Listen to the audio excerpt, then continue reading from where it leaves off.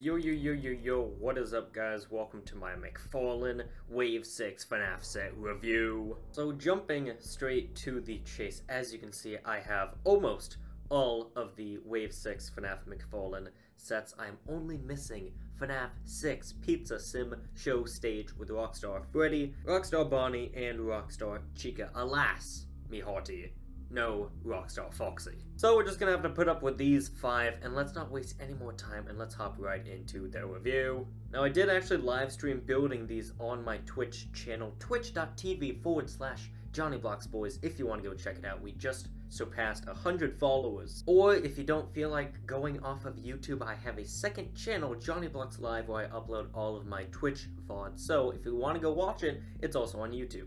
So, as you can see, the five I have are Repair Freddy from Help Wanted. We have Lefty's show stage. Um, I believe it's the Star Curtain stage, if I remember correctly, um, from FNAF 6. We have Mangle Vent Repair from Help Wanted. We have the Salvage Room with Molten Freddy from FNAF 6. And I have Grim Foxy from uh, Help Wanted as well. So let's take it set by set, starting off with, mm, let's start off with Lefty. A go big or go home, am I right, gamer? So as you can see from this just 10 out of 10 camera angle of my desk, this is Lefty's Star Curtain stage. And honestly, it doesn't look half bad. My main problem with it is the star curtains themselves, because they are just straight up paper that you fold together. Sometimes they can be very annoying if you want to open them fully. They just, they want to close back up. You know, they don't want to show off Lefty, which is the main show. The Lefty figure itself is actually really, really good. My favorite thing about McFarlane is just the attention to detail that the people have over there, and of course it doesn't want to focus, god dang it camera. The detail on these guys is always incredible, and it's one of the main reasons why I just absolutely love McFarlane. Look, you can take off his head, and it's his endoskeleton. Like, Come on, that's amazing. Now, I don't want to spend too much time on just one set because we have four others to go through, but it's just this, this set is really good, and my only problem with it, again, is the curtains. They can be very annoying at points, but other than that, it's a really nice set.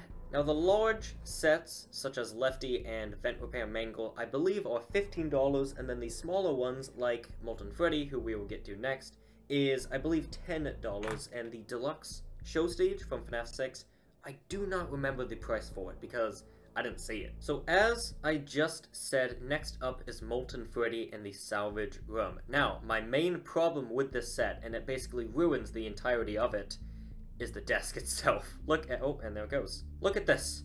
They really couldn't get it even to the bottom of the desk?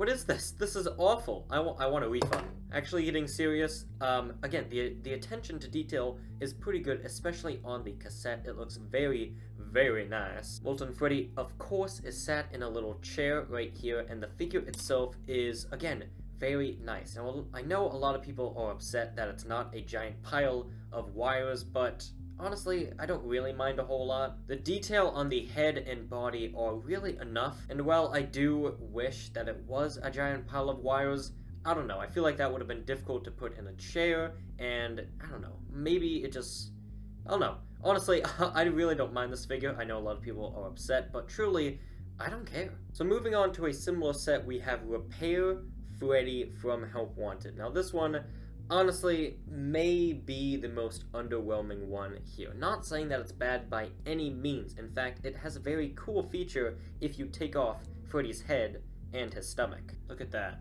It has a screenshot from the game of his endoskeleton.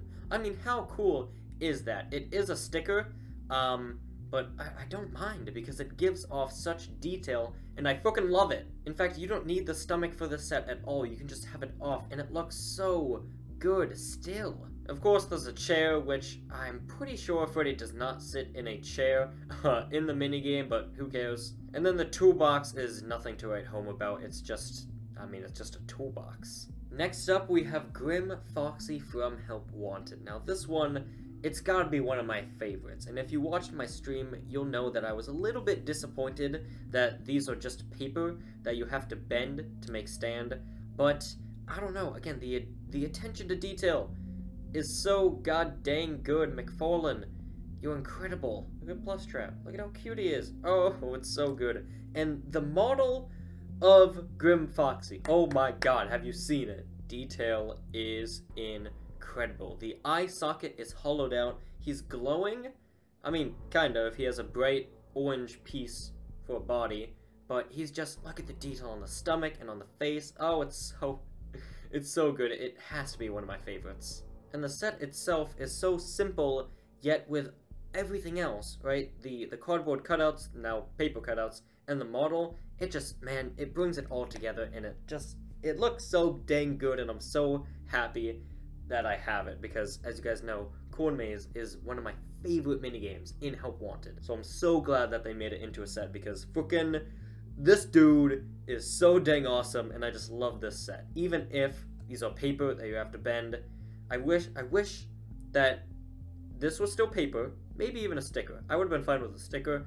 Um, and you put it in like pieces that prop it up, but I don't know. Really, I don't care a whole lot now that I have it. I I think it looks still pretty good. And last but not least, we have Vent Repair Mangle, which I was very surprised to find out is actually 3D. You know, like it, it, it pops out here, and there's actually a hole. Taking a look at the set itself, it is, again, very, very detailed. There's at least two or three stickers on here, as you can see. In the vent itself is a sticker, and then you also have the Squidward looking guy up here, and you have the buttons to let you know if you have a perfect 72 degrees. I don't think that this is a sticker, but you also have, if it'll focus on it, you also have the vent down at the bottom. You have a switch here, and you also have the skip dialogue button here, which the fact that they included this, it just, it shows the amount of detail that they put into these sets. And then you got Mangle. Now, I've heard